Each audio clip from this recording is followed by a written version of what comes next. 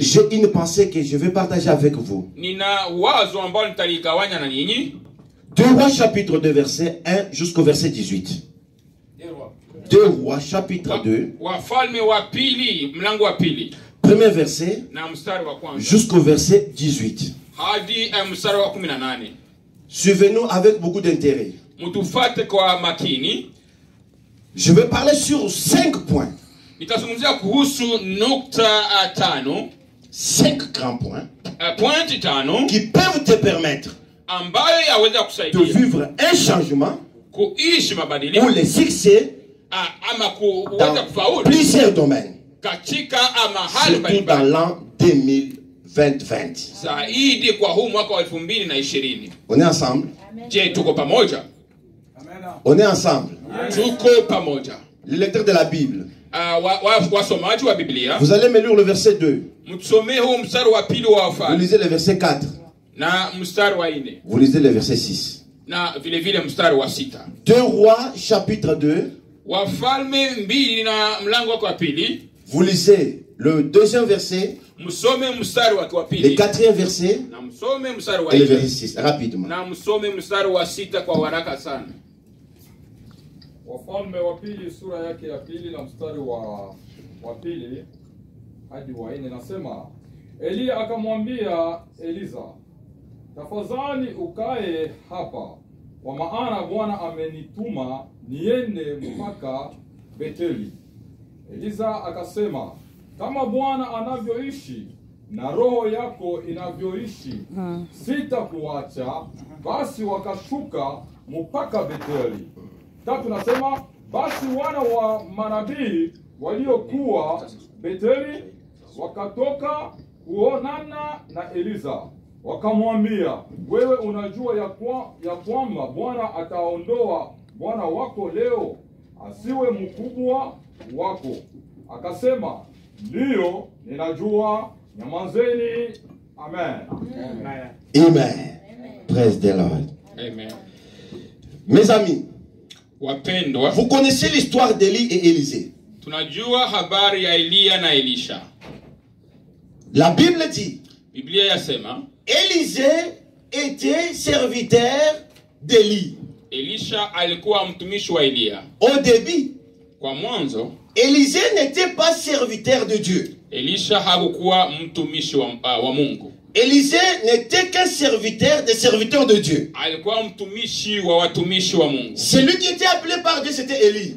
yule ambaye alikuwa ameitwa kwa- na mungu ni eliya Élie qui fut l'incarnation de Jésus-Christ. eliya ambaye alichukua ile incarnation ya yesu kristo Dans la Bible, katika nous savons que trois personnes qui furent enlevées. tuna watu watatu ambao waliweza La première personne, na mtu wa il y a Jésus, ni yesu il y a Enoch kuna et il y a aussi Élie. Na kuna eliya En dehors de ces trois personnes, Ah, ya hao watu il y a watatu. encore une autre personne qui fut enlevée. hakuna mtu mwingine Je ne suis pas là. siko hapo. Mais dans l'exercice du ministère d'Élie, katika, d'Élie, katika exercice ya uh, ministeri ya eliya à ses côtés, il avait Élisée. pembeni yake kulikuwa na elisha. Élisée, voyant les grands miracles que Dieu opérait avec Élie, elisha akiona miujiza ya kabambi ambayo mungu alifanya na eliya il s'est dit, pourquoi ne pas être attaché à cet homme? Permettez-moi de parler un petit, petit peu d'Élie. Élie est un prophète. À son temps, il a prié pour que la pluie ne puisse plus pleuvoir pendant trois ans et demi. Un. Deux. Élie fut un homme qui a prié pour que les feux puissent descendre du ciel et consumer 50 soldats. eliya aliomba ili moto utoke mbinguni na uweze kuwaua askari hamsini Cela veut dire, c'était un prophète avec qui l'Éternel a manifesté sa puissance. ni nabii ambaye mungu aliweza kujiirisha kwa nguvu Mais il avait un début et une fin. Kwa hivyo alikuwa na mwanzo na alikuwa na mwisho. Est-ce qu'on est ensemble? Je tuko pamoja. Le temps est arrivé où Dieu devrait enlever Élie. muda umefika ili mungu amchukue eliya Un homme peut passer, mtu aweza mais pita. l'œuvre de Dieu doit subsister. lakini kazi ya mungu itaishi. Je parlais à une communauté. nilikuwa nazungumzia kwa community. Vous vous sentirez que vous êtes de Dieu. Mtajisikia kwamba mko watu wa quand votre leader ne sera pas là. Wakati kiongozi wenyu hata kuweko La vraie église du Seigneur doit subsister même dans l'absence d'un humain. kwa hivyo kanisa la mungu inapaswa iishi hata kama mwanadamu anatoweka Moi, je ne suis pas là. mimi siko hapo Si vous passez partout, je suis passé. lakini ukipita mahala popote Vous allez toujours trouver que l'œuvre de Dieu existe. utaona tu ya kwamba kazi ya mungu inaishi Ce n'est pas mon œuvre. haiko kazi yangu Ce n'était pas ma boutique. C'est l'œuvre de Dieu. Elle doit subsister. Mais si elle n'est pas de Dieu, mungu maintenant c'est presque, dis-moi que je ne suis pas au Congo, plus. L'œuvre ne devait pas exister. Si c'était mon œuvre. La différence est que tu peux ne pas être là. Mais il faut que l'œuvre de Dieu continue. Quand Dieu voulait enlever Élie, wakati mungu ataka kumchukua eliya à ce côté, Élisée était là. hapo pembeni yake kulikuwa na elisha Maintenant, écoutez.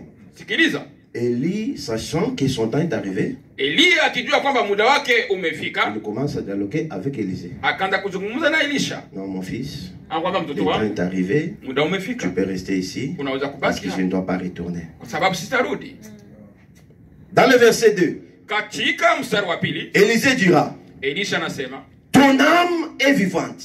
moyo wako waishi Je ne te quitterai jamais. sita ku, kuacha Je ne te quitterai jamais. sita kuacha kamwe Ils ont quitté les lieux où ils étaient. walitoka nafasi walikuwa Ils avancent. wakaenda mbele Je n'ai pas le temps d'entrer en profondeur parce que ce n'est pas un enseignement. sina wakati wa kwenda huko kwa sababu sio mafundisho Dès qu'ils arrivent quelque part, wakati nafika mahali Élie dit encore à Élisée Si tu m'as suivi là où nous étions avec toi, nous sommes arrivés ici, mais c'est bon. vizuri Mais moi, je continue. Je te encore une chose. Tu peux rester ici, c'est bien, parce que moi, je continue. Je ne dois plus encore retourner. Élisée dira encore. La plus grande erreur que je peux commettre dans ma vie, c'est de m'écarter de toi. C'est de toi. Niku- niondoke karibu na wewe. Moi, je ne te quitterai jamais. sitakuacha kamwe. Si nous étions avec toi à Bethel, ikiwa tulikuwa na wewe Betle- betel nous sommes à Jéricho, na tuko yeriko même au Jourdain, hata je serai toujours avec toi. itakuwa pamoja na wewe. Le premier point, hiyo ni nukta ya kwanza. La détermination. yaani ni kujitolea 20-20. Dis à ton voisin 20-20. ishirini ishirini mweleze jirani yako Encore plus fort, 20-20. ishirini ishirini sema kwa nguvu Le vrai changement suscite une détermination. Lorsque un peuple, un couple, une église n'est pas déterminé, il n'y aura pas de changement. Hakuna mabadiliko hakuna mabadiliko hakuna mabadiliko Hein? Est-ce qu'on est ensemble je tuko pamoja Est-ce qu'on est ensemble je tuko pamoja Est-ce que vous le faites confiance je mnamwamini? Il est dans le bon. je- me répète. Hata ni Lorsque un peuple, une église, un couple n'est pas déterminé, on ne peut pas parler du changement. Le vrai changement a besoin d'une détermination.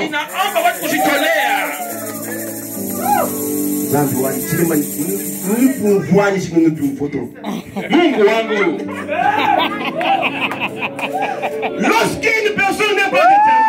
Wakati mtu ajitolee. Ili